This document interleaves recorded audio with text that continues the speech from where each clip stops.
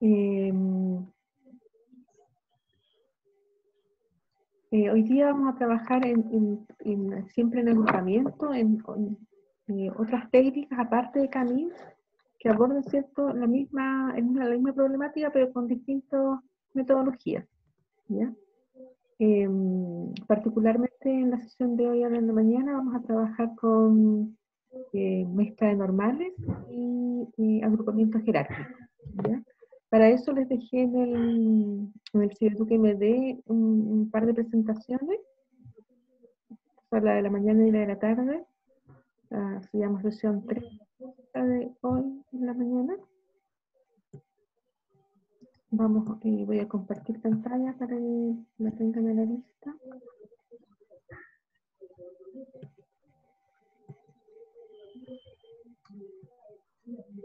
Y les pido que me vayan interrumpiendo cualquier cosa que no se entienda.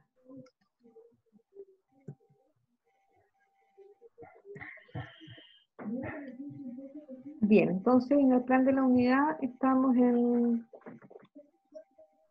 análisis de agrupamiento o clustering. Vimos la sesión pasada conceptos y aplicaciones, similaridad a distancia, en general cómo funciona el de agrupamiento, en particular vimos caminos. Hoy día vamos a trabajar entonces en la mañana el modelo de mezcla de normales y agrupamiento jerárquico.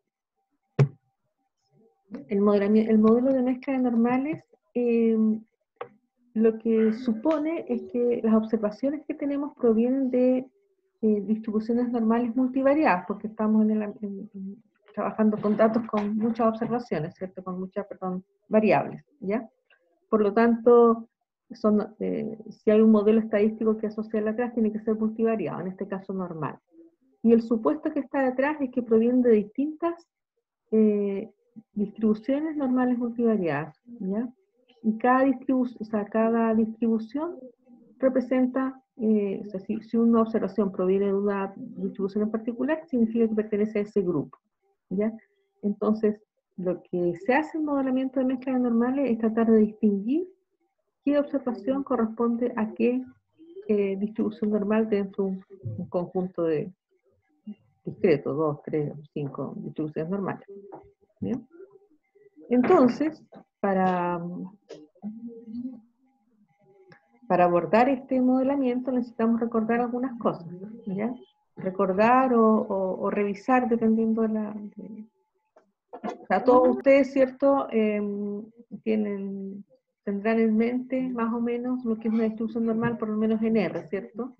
Que tiene esta forma que es 1 sobre 2 pi sigma cuadrado por la exponencial de, menos medio x menos la media todo al cuadrado, ¿cierto? Eso es en R.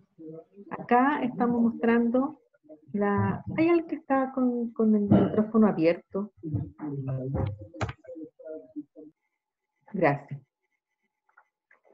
Eh, en, el caso de la distribución normal multivariada o gaussiana suele denominarse, entonces los parámetros ya no son una media y una varianza, sino que son, una, son siempre una media, una media pero un, vector, ¿cierto? Dependiendo del número de variables, eh, y una covarianza, una matriz de varianza covarianza. ¿ya? Esos son los parámetros.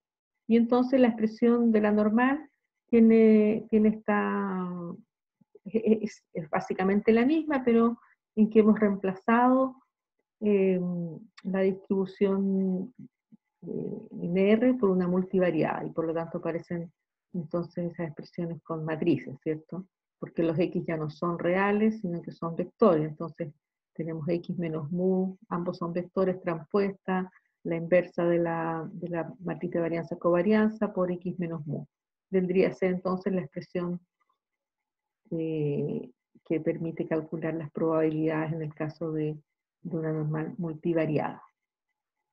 Esa expresión de ahí es la densidad de la normal multivariada. Eh, afortunadamente, eh, en el caso normal, ¿cierto? Eh, multivariados siguen pudiendo hacerse todos los cálculos de, manera explícita. Particularmente los estimadores máximo verosímiles tienen expresiones explícitas en este caso. El estimador máximo verosímil de la media es eh, lo que uno esperaría, ¿cierto? Eh, la media de las observaciones. Recuerden que esos X y Y que están son vectores en el espacio eh, en, n-dimensional, o k-dimensional para distinguirlo del número de observaciones. Y la estimación de la, de la matriz de varianza covarianza es exactamente eh, xy menos mu por xy menos mu transpuestas dividido sobre, sumados todos los elementos dividido por él. Eso es una matriz, ¿cierto? Porque un vector multiplicado por su transpuesta se transforma en una matriz de el número de componentes de cada vector. Si decimos que son m componentes, va a ser una matriz de m por n. ¿Dudas hasta aquí?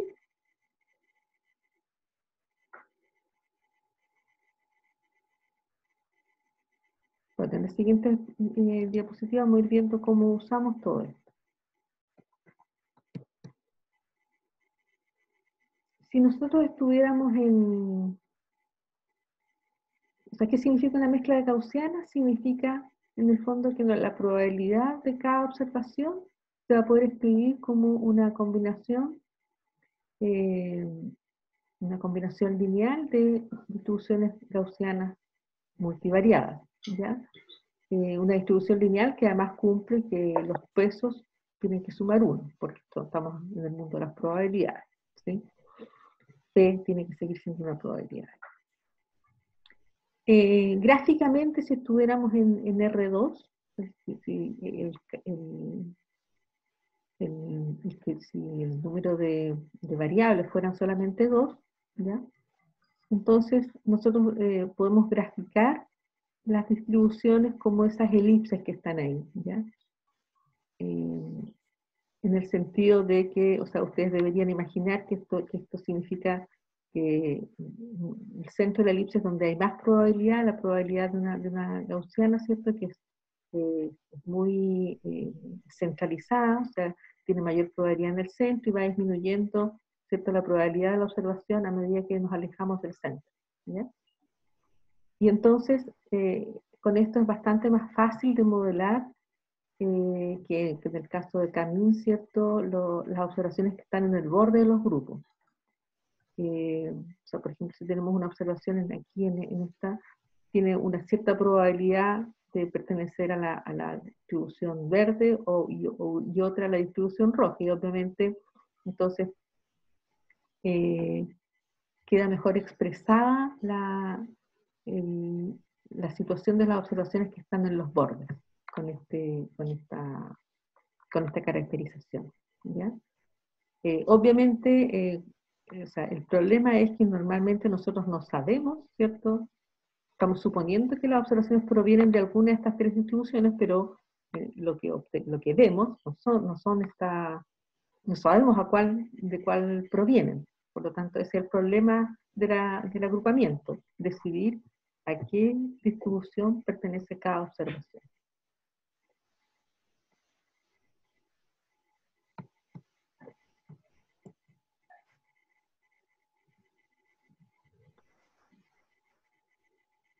Entonces, eh, lo, que, lo que está detrás de esto es que nosotros estamos suponiendo que los datos provienen de, esta, en este caso, datos de NR2, que provienen de tres distribuciones gaussianas. ¿ya? Entonces, hay, suponemos que hay un proceso generador de las observaciones que sigue el, los pasos que están dichos ahí. Eh, se, se, escoge una componente con probabilidad pi sub k, ¿ya? Para eso son las probabilidades pi sub k. Se escoge entonces el XI desde la distribución I, ¿ya? Suponiendo que se escogió, que, al escoger la componente salió la, la, componente I. Y después cada dato es generado por una de las K componentes. Una, eh, o sea, cada dato es generado por una componentes. Una variable latente ZI se asocia con cada XI, ¿ya? En que ZI, K va a ser igual a 1, eh, o sea, la suma de los ZK va a ser igual a 1, y la probabilidad de que ZK sea igual a 1 es igual a pi sub k. O sea, el Z, la variable latente, lo que me está indicando es de cuál, si nosotros, se llama latente porque no la observamos, a cuál de, de las clases, eh, de cuál de las clases proviene la observación X. Ese es entonces el proceso de generación de datos que suponemos que está detrás de las observaciones que vamos a, eh, para las cuales vamos a generar un agrupamiento.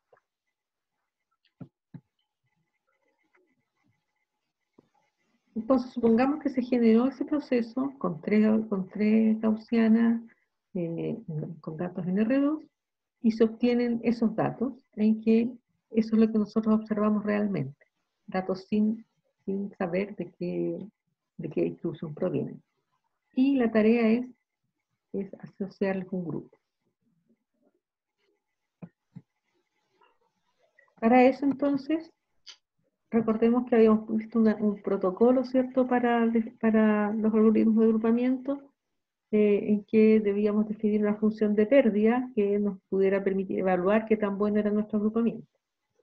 En el caso de la mezcla de Gaussiana, la función de pérdida va a ser el negativo del logaritmo de la verosimilitud, ¿ya? Puesto que estamos en el mundo de las probabilidades, es natural que, que nuestra que nuestro criterio de pérdida tenga que ver con las probabilidades. En el fondo es, eh, esto nos está diciendo, si yo asumo eh, que, la, observación XY proviene de la, del grupo K, eh, entonces, y eso para cada una de las y observaciones, ¿Con qué probabilidad este, conjunto de observaciones está, está, ah, ocurre? ¿ya? Y me interesa entonces maximizar el logaritmo de la verosimilitud, si lo ponemos como función de pérdida, sería menos el logaritmo, ¿cierto? Para que sea eh, ah, eh, lo contrario. Cuando maximizamos, en realidad estamos minimizando la pérdida. Em, entonces, ese, logaritmo de la verosimilitud, se, dado cierto que es una mezcla de normales, va a tener esta expresión con esta combinación lineal de, los, de las normales por pi sub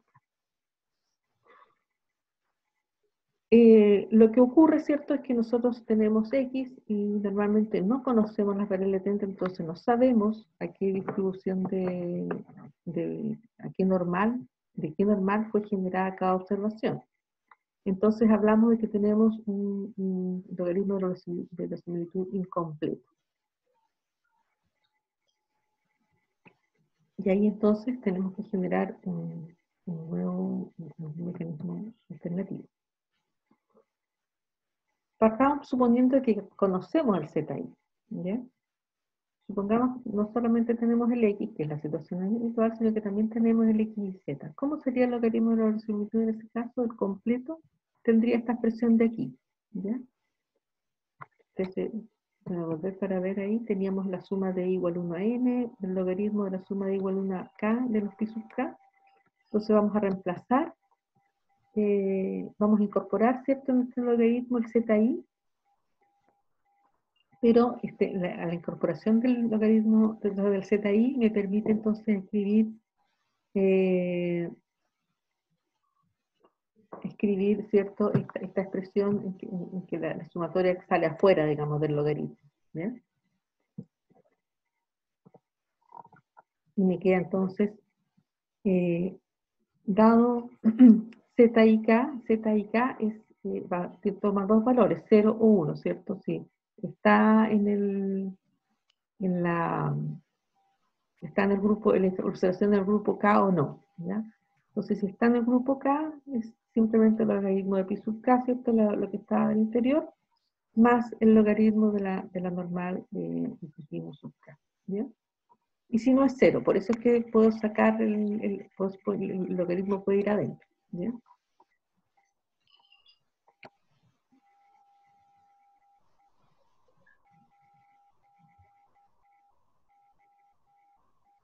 Bueno, desde luego, si conociéramos Z de K, simplemente es cosa de, de, obtener los máximos verosímiles y tenemos todo resuelto. Pero no es el caso normalmente. Eh, otra observación aquí que se hace es que si, si todos los y los eh, sigma K fueran iguales, ¿ya? entonces el logaritmo de la verosimilitud completa es igual a la función de pérdida usada en camino. ¿ya? Si cada uno de estos resultados valiera lo mismo, eh, eh,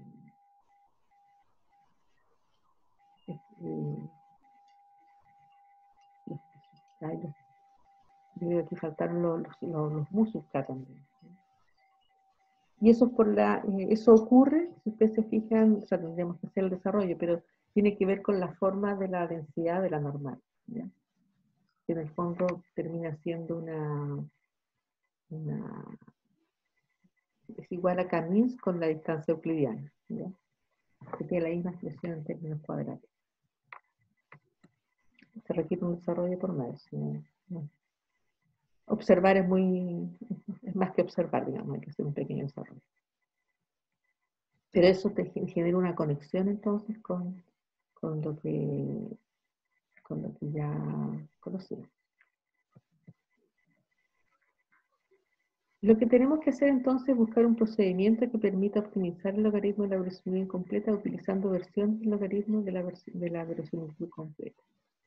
Y aquí quizás se podemos recordar lo que hicimos en el algoritmo Camille cuando hablábamos de la responsabilidad. Aquí viene a cumplir el mismo eh, rol que, lo, que, la, que la variable latente. ¿ya? Y recuerdan ustedes que como teníamos dos, dos situaciones, o bien o bien conocíamos las responsabilidades, o bien conocíamos eh, la función de pérdida, entonces se aplicó el algoritmo Expectation Maximization, y aquí va a ser lo mismo. ¿ya? Entonces, dado para unas responsabilidades conocidas, eh, calculamos la verosimilitud, los estimadores de máxima verosimilitud de, de, las normales multivariadas. Y y con esos valores de la normal multivariada ajustamos nuevamente eh, la, la, variable de tiempo y así vamos iterando. Eso es lo que vamos a mostrar. El algoritmo entonces de Precision Maximization en este caso, en el, paso de la, de, la, cálculo de la esperanza, considera el cálculo de la esperanza de, la, eh, de las variables latentes que vienen a ser nuestras responsabilidades. ¿ya? Dados entonces los valores de los parámetros de, las normales multivariadas, calculamos las responsabilidades. ¿ya? La esperanza, los Z y K. La probabilidad Z y K, dado X, Pi, Mu y Sigma.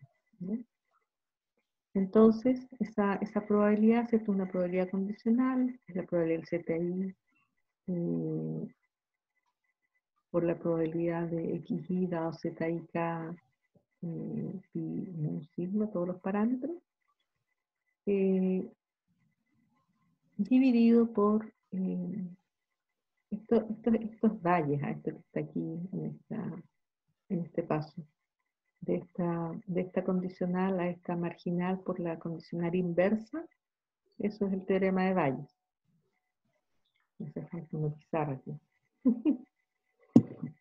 Eh, a ver.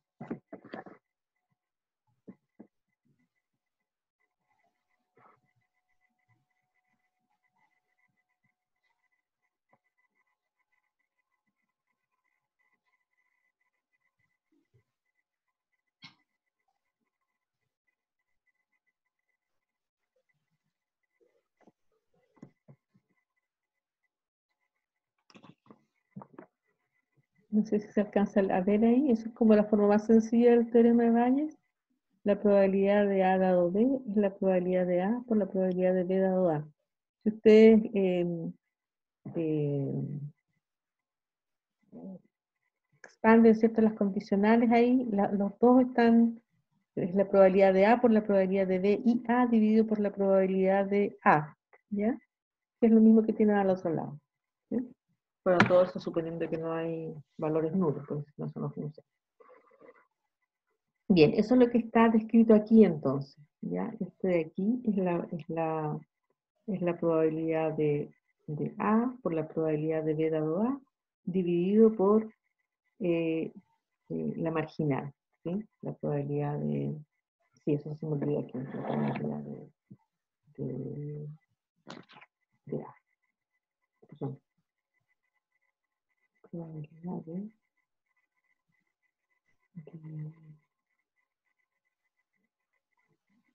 o sea, perdón, integrando sobre todo los valores de edad, sí, disculpen.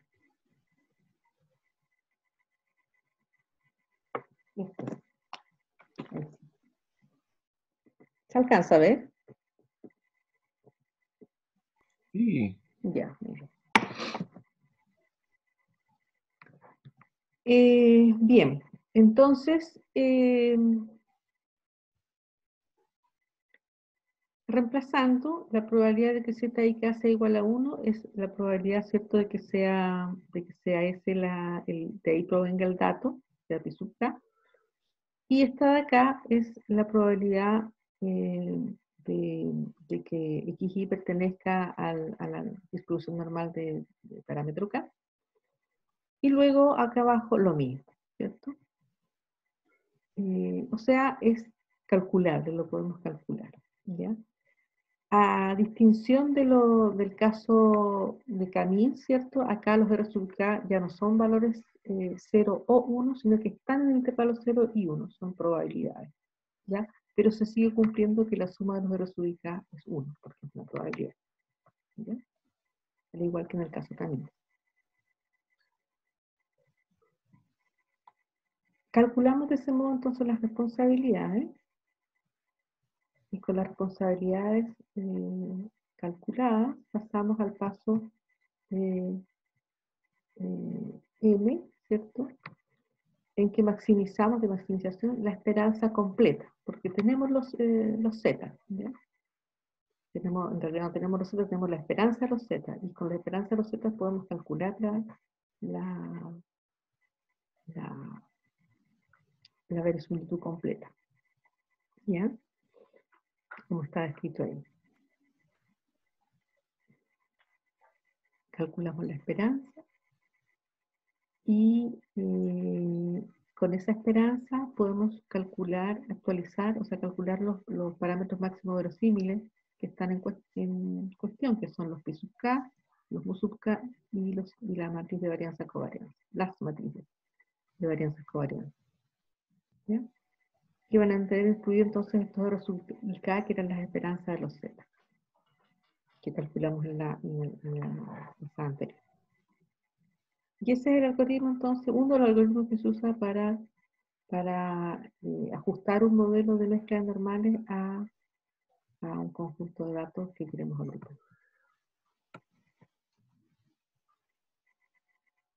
Se itera hasta que el logaritmo de similitud no aumente más la función de pérdida, ¿cierto? Igual que en camino se converge a óptimos locales. Ahora, ¿cómo se resuelve el caso de los óptimos locales? iniciando el algoritmo con distintos valores iniciales y, buscando la convergencia.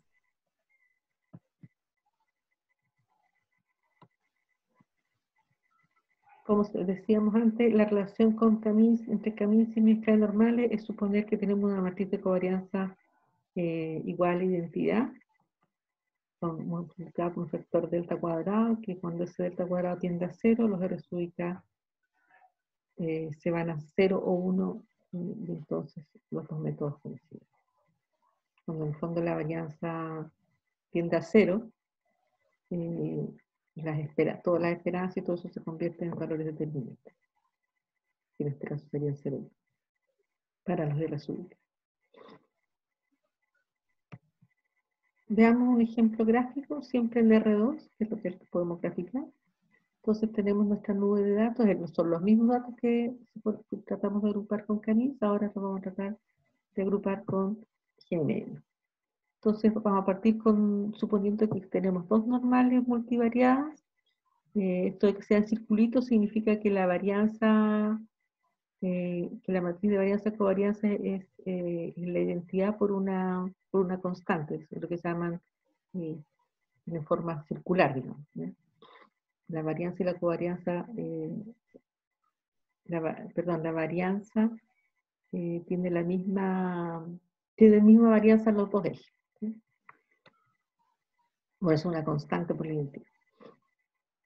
Partimos con esos dos valores, esas dos posibles distribuciones, no, son, parámetros eh, iniciales. Entonces, con esos parámetros iniciales, el primer paso es ajustar las responsabilidades. O sea, asignarle a cada uno de los datos eh, su mayor, o sea, sus distintas esperanzas de Z1 y Z2. Entonces aquí ya no vamos a, las responsabilidades ya no son 0 y 1, son valores entre 0 y 1 cuya suma es 2, perdón, es 1. Entonces, eh, gráficamente eso se propone en esos colores. Entonces, se supone que la suma de los dos colores tiene que ser 1. O sea, hay 10% eh, que sea, por ejemplo, este de acá. El 10% que, que pertenezca al, a la normal roja y 90% que pertenezca a la normal eh, azul. Por eso tiene ese color. ¿ya? Entonces, una combinación lineal de, de los colores.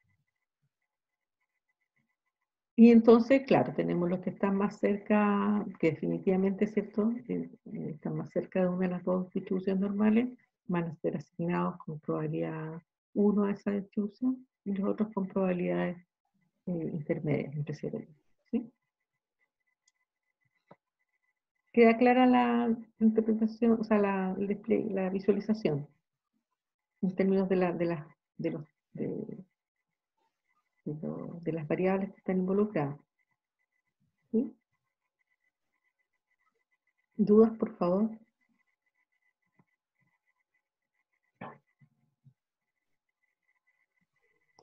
Profe. Diga.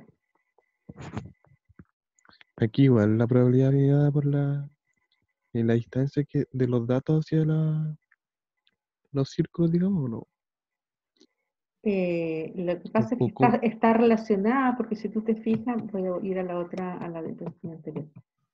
Si tú te fijas, estamos hablando de, estas distribuciones están asociadas con la normal, ¿ya?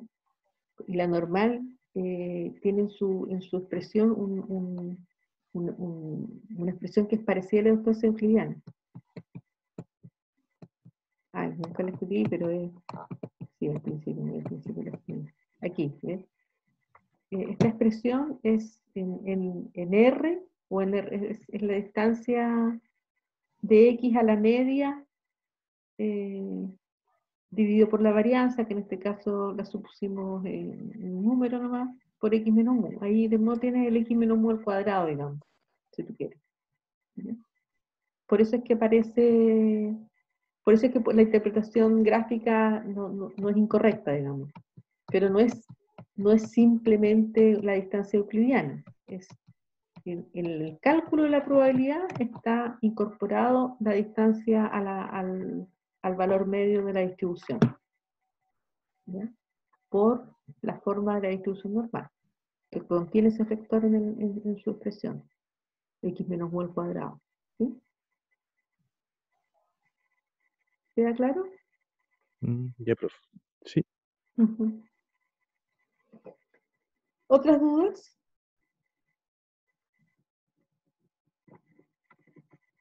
Bien. Luego entonces pasamos al ajuste, ya que están así nuestras observaciones, volvemos a ajustar los parámetros de las distribuciones normales, multivariadas, y nos quedan esos dos anillos, la eh. ¿ya? ¿Por qué? ¿Por qué? Porque se ajustan, como no son, ya no son valores a priori, son valores calculados a partir de la verosimilitud y entonces van a tener, van a estar centrados en, los datos que se están eh, asociando a cada una de las dos distribuciones. En el siguiente paso, entonces, se vuelven a calcular las responsabilidades y nos queda algo así y luego se vuelven a ajustar las distribuciones multivariadas, normales multivariadas, y las quedan así, con esos, eh, parámetros. Y ya en la integración 20, entonces nos pasamos de 5 a la 20, porque era medio largo, eh, ya estamos estabilizados, ¿cierto? En dos, en dos distribuciones.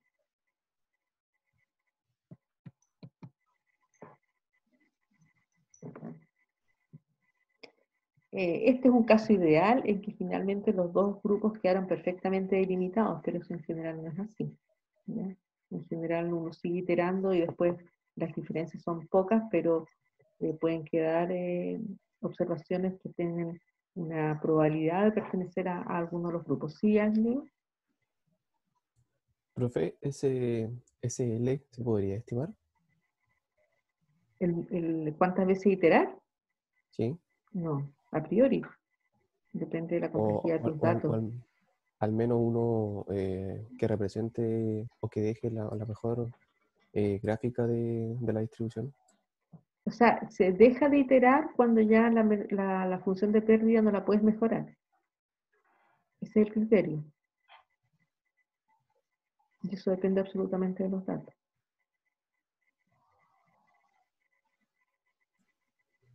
Es un algoritmo iterativo. Es un algoritmo iterativo en que el criterio de parada es cuando en la siguiente iteración la función de pérdida ya no aumenta un cierto, una cierta cantidad. Ah, ya.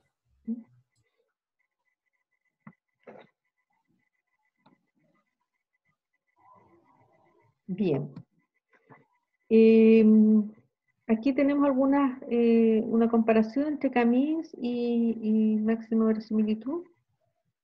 Entonces, eh, perdón, y mezcla normal. ¿ya? Eh, bueno, la función de pérdida en el caso de Camins era la distancia euclidiana, en el caso de la función de, GMM es el negativo del log de la verosimilitud.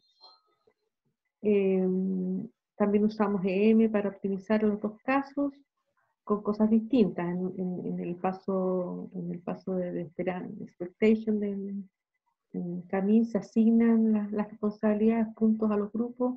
Acá se obtiene una probabilidad posteriori de, cada, de, que, cada de, cada, de que cada observación pertenezca a una componente en particular. Eh, en el paso M se optimizan los grupos, también en el caso de GMM se optimizan los parámetros de la distribución, de las distribuciones multivariadas. Las asignaciones en el caso de Camille son deterministas, y en el caso eh, de GMM son probabilistas. Los grupos son esféricos y con probabilidad eh, iguales, de, o sea, con la misma probabilidad de ocurrir en el caso de Camis, en el caso de GMM los grupos no necesariamente son esféricos, ¿cierto? Como lo vimos, pero cambiando la, la distribución elíptica, o sea, con distintas varianzas significa eso, y no necesariamente tienen la misma probabilidad los grupos, digamos. Entonces, de algún modo, esto es para mostrar, eh, eh, o sea, parece ser cierto que el mezcla normal es un, es un algoritmo mucho más adaptativo, tiene, tiene, más posibilidades de adaptación, pero a eso se suma también un, tema de, de, ajuste, digamos, el ajuste de, una mezcla normal es, computacionalmente bastante más costoso que, un camino. O sea, eso como, sería como desventaja. Y también uno podría suponer que una desventaja hacer esos supuestos que los datos provienen de distribuciones normales, o sea, multivariadas. Puede ser que tengamos datos de otra índole, digamos. No pueden ser modelados como distribuciones normales multivariadas. Y ahí entonces, eh, si el supuesto está demasiado fuera de la de, la naturaleza de los datos, habría que eh, volver a un, método eh, basado en heurísticas como es CAMINS. Bien, vamos a completar la presentación de la mañana con el argumento jerárquico que está, que, es bastante que tiene una complejidad, para pasar a la parte práctica.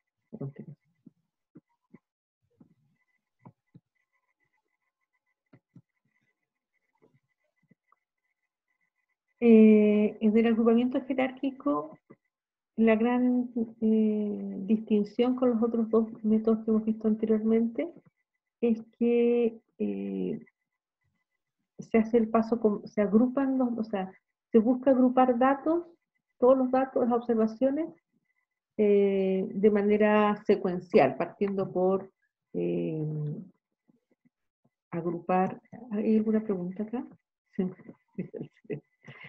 Eh, partiendo por, suponiendo, por ejemplo, primero que tenemos todos los datos agrupados en un solo, todos, perdón, aquí como está el gráfico, todos los datos eh, corresponden a un grupo distinto y lo que hacemos en cada iteración es agruparlos en grupos distintos, o sea, en nuevos grupos, ¿ya?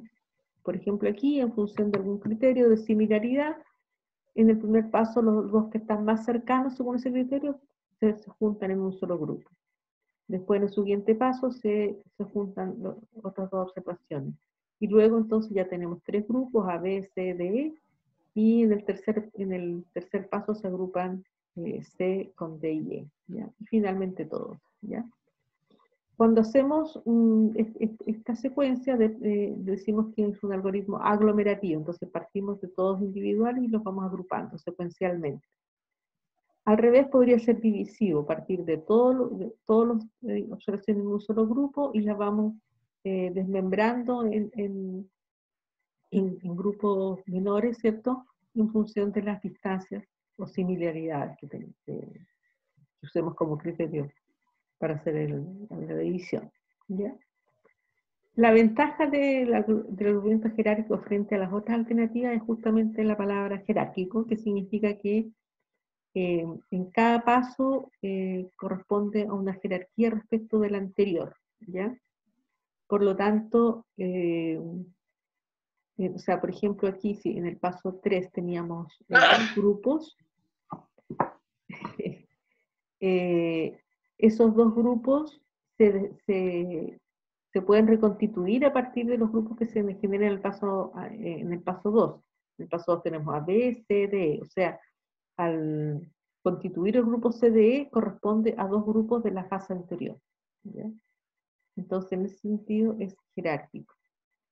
Eh, ¿Hay dudas?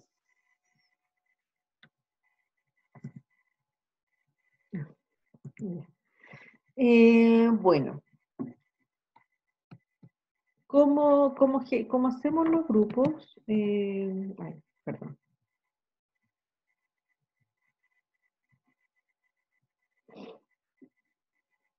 O sea, entonces el, grupo jerárquico entrega todos los grupos, eh, todas las posibilidades de grupos que podamos tener, ¿ya? Y es normalmente el analista el que decide con cuántos grupos crearse, que es como el gran problema que teníamos en el otro algoritmo, que había que darle un número de grupos K iniciales, ¿no es cierto? Camis y en GMM, no lo conversé para GMM, pero tenemos la misma situación. Em, y entonces, en cambio acá nosotros tenemos desplegado todas las posibilidades de agrupamiento y eh, uno puede, se puede decidir entonces cuántos grupos en función de un, de un corte que representa la disimilaridad entre los grupos. Porque acuérdense que esto depende de, un criterio de similaridad, entonces en cada, en cada nivel tenemos un distinto, distinto, distintos valores para la disimilaridad entre grupos.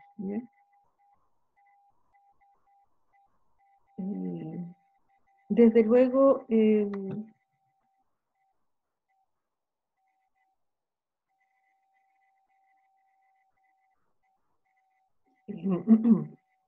Este, este, este, valor va a ir aumentando a medida, a medida que, se, que se alejan los, o sea, de que, de que hacemos más grupos.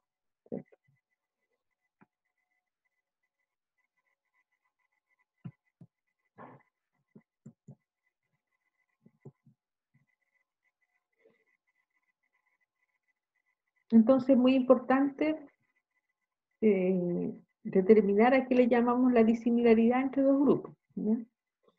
Y para eso tenemos, o sea, tenemos similaridad entre observaciones, pero ahora tenemos que pensar en, disimilaridades entre grupos. Y para hacer las la similaridades o distancias entre grupos, se, se consideran varios criterios distintos. ¿ya? Eh, los más conocidos son esos que están ahí. Eh, single linkage, que significa que tomamos como la disimilaridad entre los grupos el mínimo de las eh, disimilaridades entre pares de elementos pertenecientes a distintos grupos. ¿Qué, ¿Qué, significa eso? Que no me interesa qué tan alejados estén, o sea, qué tan... No nos importa eh, que hayan dos... o sea, lo, único que nos importa es que, del, que el borde en el fondo sea... El borde es el que nos entrega la, la distancia entre los dos elementos de, dos, de los dos grupos que están a, a menor distancia, ese me va, me va a dar, me va a representar la distancia entre los dos grupos. En el, en, el, en el polo opuesto está el, el, el- enlace completo, completing K, que eh, supone la distancia corresponde, o sea, que define la distancia como el máximo entre, las, entre pares de observaciones de los dos grupos. ¿ya? Eso lo tomo como la distancia. Eh, y eso, eh, dice, genera grupos más concentrados. Porque, eh, y en el otro se genera un grupo más extendido. No nos importa cuánto se extiendan los grupos, no solamente nos importa que los, la, la diferencia entre los más cercanos. En el caso del completo, nos interesa eh, la distancia del máximo. Eh, y por último tenemos el caso como ponderado, ¿cierto? El- el promedio, que toma como la disimilaridad el promedio de las distancias entre todos los pares. Entre todos los pares, suma sobre todos los pares y distancia o disimilaridad. Entonces, es bastante distinto usar uno u otro método en el agrupamiento general. Bien. Vamos a pasar entonces al, a, la, a la parte práctica. La tenemos en el node número 3 del, del GitHub. No sé si lo habrán descargado. Les pido que lo descarguen ahora. Lo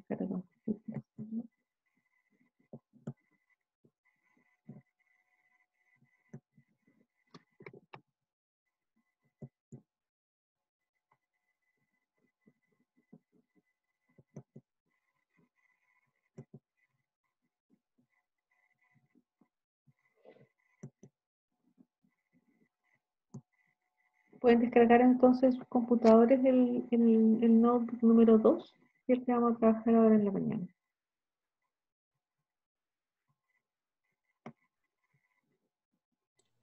¿Podría poner el enlace para tener más fácil acceso al GitHub, por favor, profe? Sí, claro.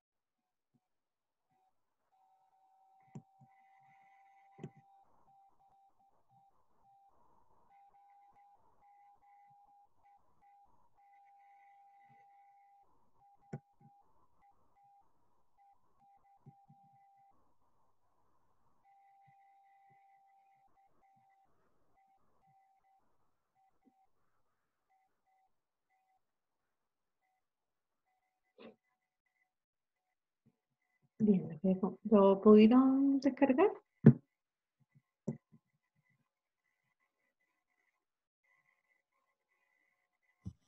Al menos Sí. acá sí. Ya, les voy a compartir pantalla para que, lo, que la idea es que lo tengan descargado ustedes también, para que si tienen algún, puedan hacer modificaciones también como, como quieran.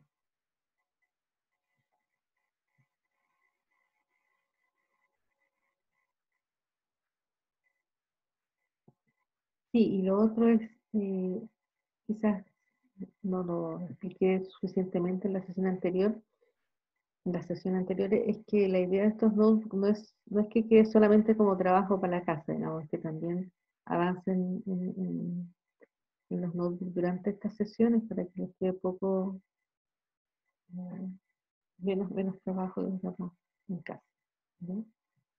Por eso lo que es la parte práctica. Bien, vamos a comenzar entonces, voy a compartir pantalla. Y me van interrumpiendo cualquier duda, por favor.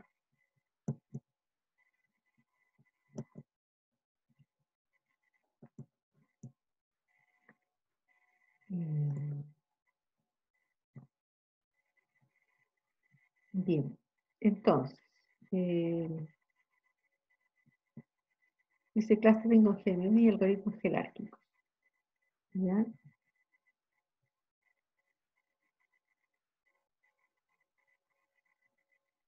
Vamos a utilizar para mezclas normales la librería mclass, mclust de DR.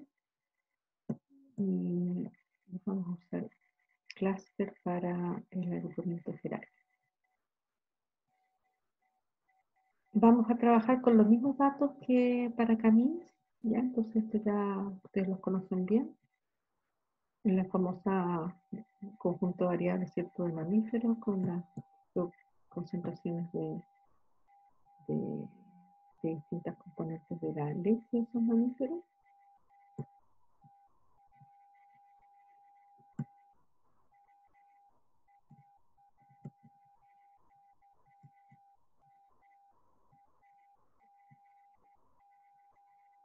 Y entonces vamos a partir por hacer una, eh, usar mclass. Entonces les pido que busquen en R eh, cuáles son los parámetros de mclass para que sirven. Simplemente está con lo mínimo, que son los datos, ¿cierto? Y 4 que indica el número de normales que vamos a considerar. ¿ya?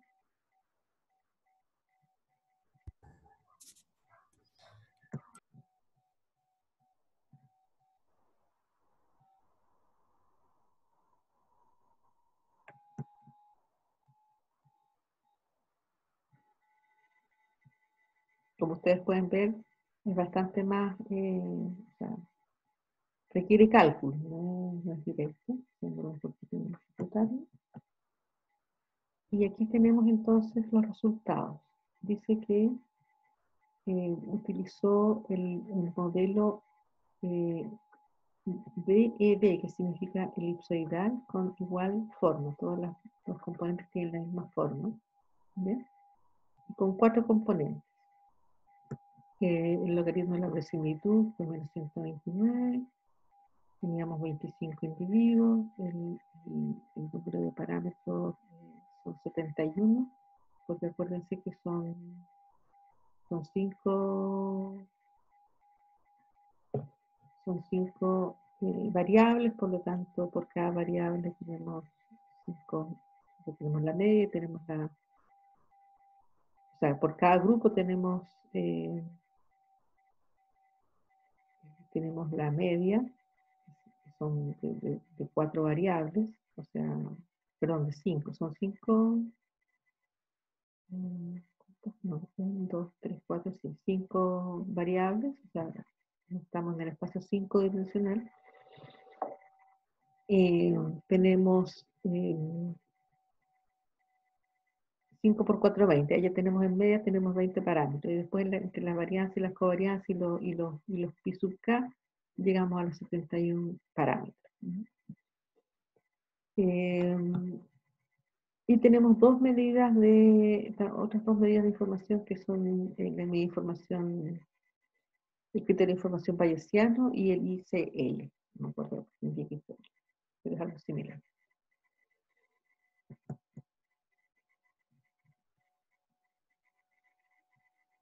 Y en el agrupamiento quedaron 5 individuos en, en el grupo 1, 8 en el 2, 7 en el 3 y 5 en el 4.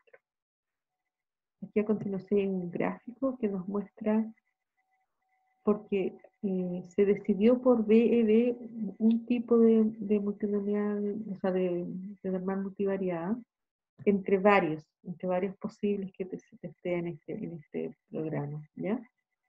Con distintas características respecto a la matriz de varianza covarianza.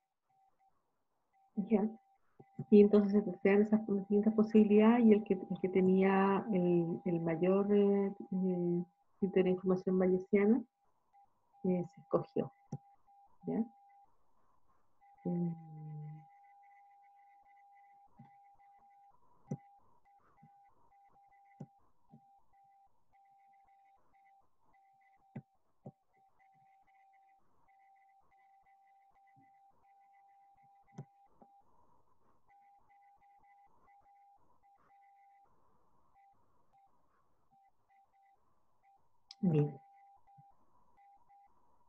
Ahí vamos a ver un poquito en qué consiste el, criterio de información. También se grafican con el plot eh, los distintos grupos en- en cada par de componentes y los centros.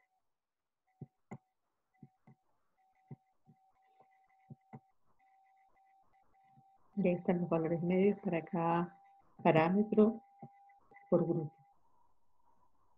Y la clasificación.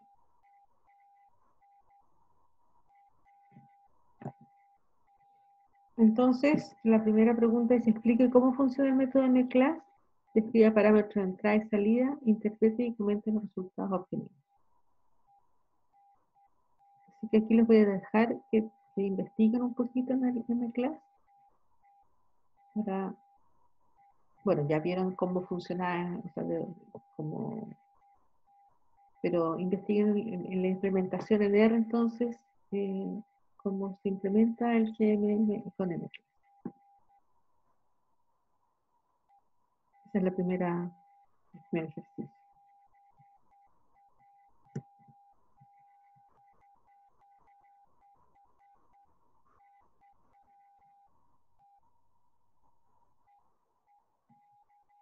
Les voy a dejar cinco minutos para que lo hagan, para que busquen un poco de información.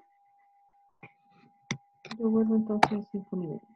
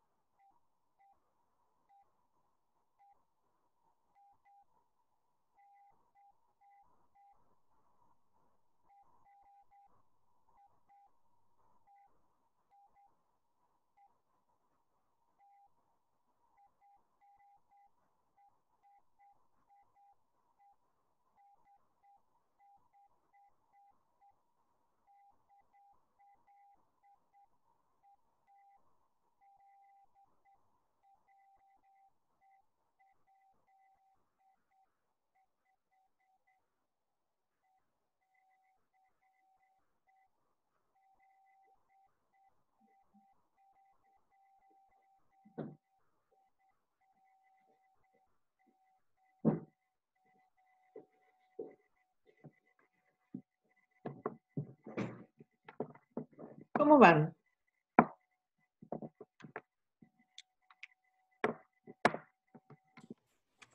Mal no pillo cómo instalar MClust en Windows. ¿Cómo? No encuentro cómo instalar MClust en Windows. En R. O sea, tienes que ir al, a la ver- al, al R e instalarlo ahí para que se pueda ver en, en el kernel. Puedes instalarlo igual desde el Jupyter. ¿No? Que se puede instalar igual desde el Jupyter. Ajá. ¿Cómo así? Eh, colocando install package y el nombre del paquete. Ya. Lo, inte- lo intenté, pero no me deja, no, no sé por qué. Ya, ahí voy a seguir tratando. Bien. Eh, pero ¿descubrieron las características del paquete? ¿Alguna, alguna cosa que les pareció interesante? De la función particularmente.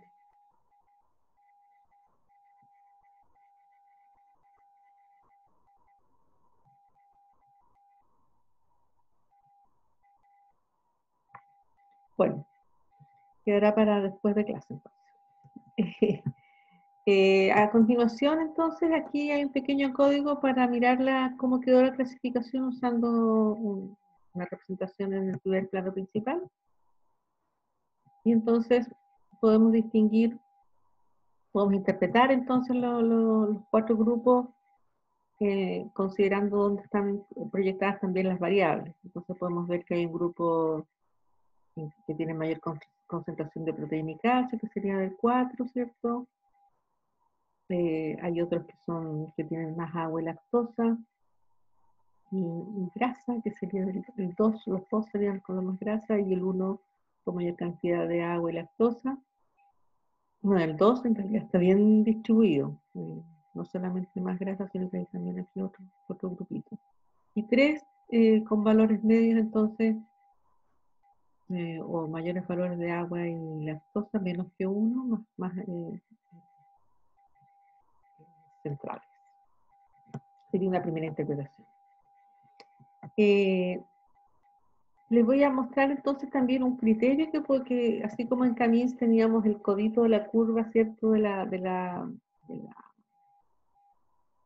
de la, función de pérdida para, para poder determinar el número de grupos, su equivalente en el, mundo de de la mezcla normales es, es- es uno, uno posible, es el criterio de información bayesiano. ¿ya? El criterio de información bayesiano toma el logaritmo del- de la verosimilitud, perdón, aquí de los datos dado este log de la verosimilitud. Este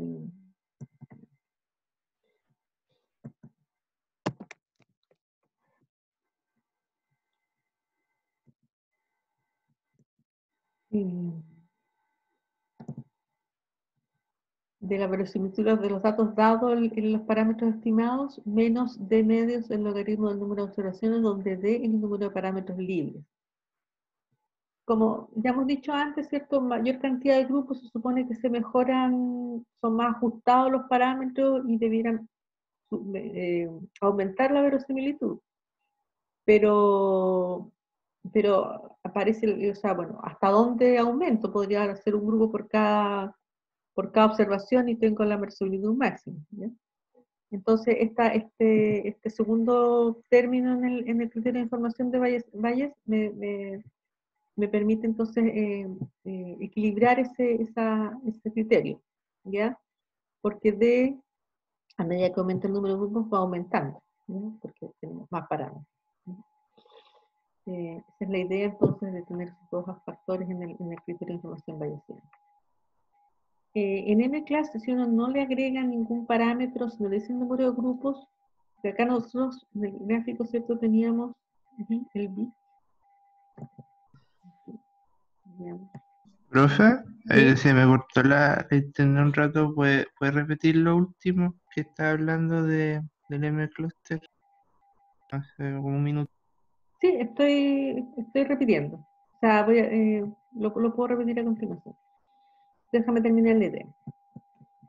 Si ustedes se fijan aquí, en este gráfico, eh, estábamos considerando solamente cuatro componentes, porque fue el, el- llamamos M-Class con cuatro. Y entonces calculó el criterio de información bayesiano considerando los distintos tipos de, de distribuciones normales que podía, configuración en términos de, la matriz de varianzas covarianza, básicamente. ¿ya? Pero si nosotros no le, no le, no le, no le incorporamos un, parámetro en, la llamada, eh, calcula el, el, este, criterio de información bayesiano para, todo, para distintos números de grupos, partiendo por 1, 2, 3 hasta, eh, no sé, un cierto valor, digamos, ¿ya? Eh, entonces, nosotros podemos usar eso para decidir el número de grupos. ¿Ya? Eh, ahora bien, insisto, eh, en general, entonces este criterio igual va a ir aumentando con el número de grupos, y entonces un criterio eh, que llamamos por parsimonia, ¿ya? Tenemos dos, dos modelos que estiman relativamente bien, pero uno tiene menos parámetros, preferimos ese que tiene menos parámetros. Entonces, un criterio sería buscar el primer máximo local dentro del BIC para definir el número de grupos. Eh, entonces, eso es lo que vamos a hacer en el ejercicio 2. Utilizar M clase sin definir el número de grupos y considerar este criterio para definir el número de grupos óptimo. ¿ya? Eh, hagamos eso entonces aquí. ¿Qué podemos hacer? Lo voy a hacer, digamos, en el, en el mismo. Se ha demorado un poquito más. Esto tiene que hacer más cálculos. Y vamos a ver qué más. Y vamos a hacer la primera parte, si no más. Ah, está bien. Sí.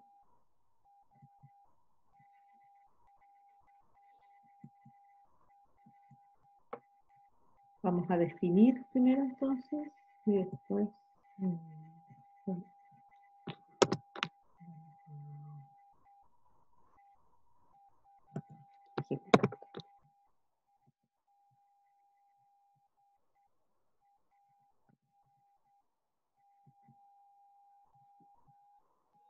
Entonces, si se fijan, aquí tenemos hasta nueve grupos. Y uno tendría que decir, bueno, este que tiene máximo bit, con ese no debe quedar, pero este, es mejor eh, tomar el primer máximo local, como digo, como criterio. Y en este caso sería 3.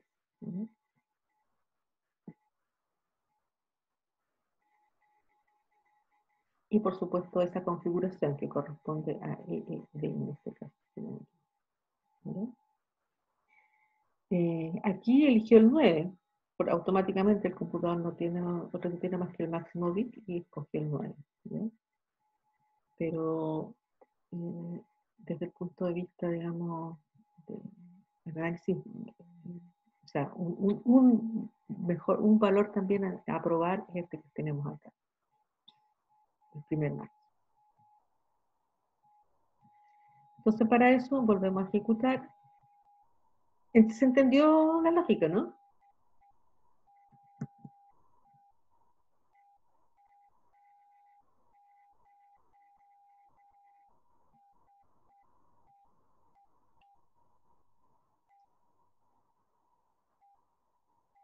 ¿Aló? ¿Se escucha bien?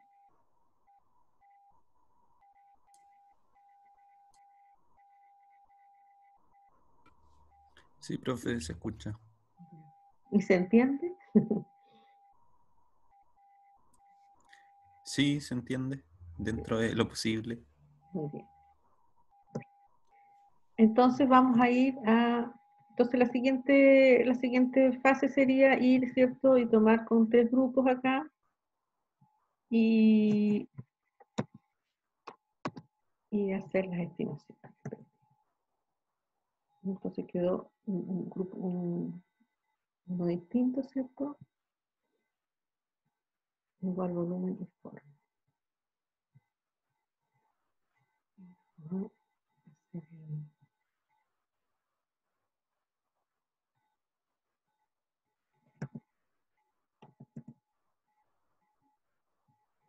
Desde ya con esta, con, esta estimación en que ya tenemos los tres grupos óptimos para GMM, hacer la interpretación y la comparación respecto a Cannes, que es el ejercicio 2. ¿Mm?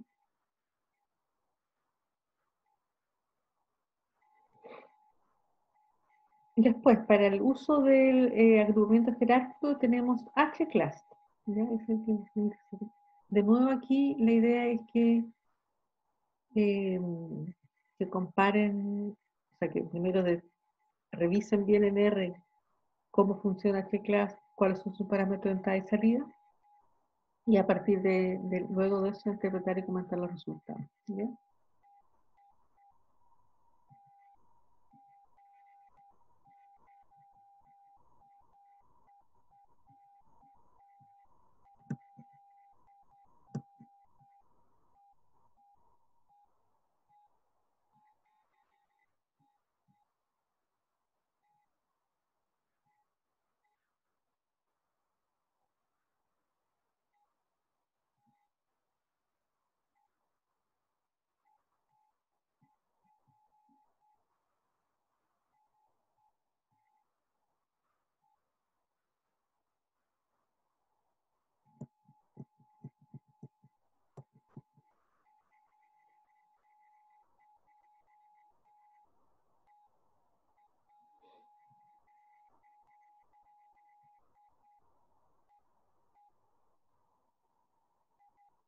Los dejo entonces a ustedes para que hagan esa parte.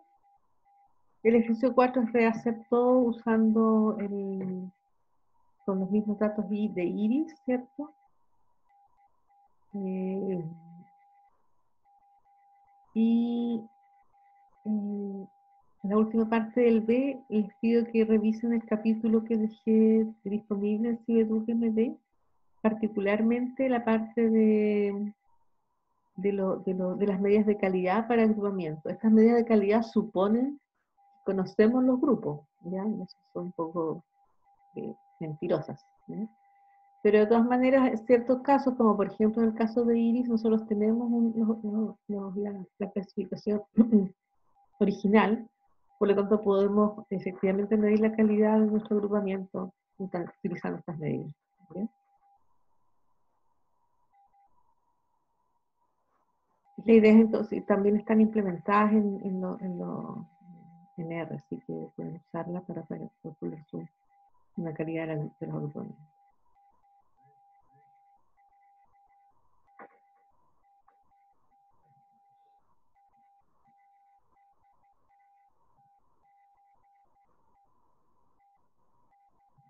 Bueno, está un poquito más el título ese.